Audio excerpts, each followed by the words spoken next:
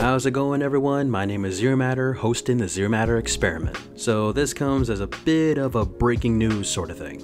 Also, keep in mind some of the info here should be taken with a grain of salt, as I'm sure things can change at any given time. Okay, so the leaked info should look similar to Ninjala veterans who have been around since day one. The Jujutsu Kaisen collaboration event will see outfits and emotes from the anime series added to the video game based on characters from the series like Yuji Itadori, Satoru Gojo, and more, and it starts on March 10th. This is always fun news as many players look forward to getting new outfits and especially emotes. Not to mention, we also have a start date as well. Now, how many outfits are we getting for this collab? Again, take all info with a grain of salt. But according to the leaked info, there will be 12 new outfits from the anime. Ninjala players will also be able to grab costumes from Ryomen Sukuna, Suguru Geto from a special collaboration Gum Gacha. There are also new emotes that are modeled after attacks from Jujutsu Kaisen.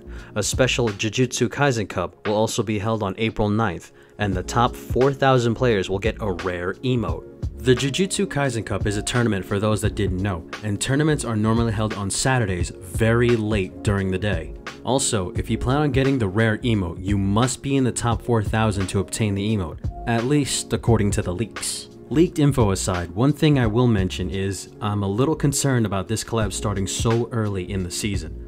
Who knows, maybe Ninjala slash GungHo have more up their sleeve. We shall see. So what did you guys think of the latest leaked information coming out of Ninjala in regards to the collaboration? You guys excited? You guys hyped? Leave all the comments down in the comment section below. Well, that's all the time I have, and I will see you all on the next one.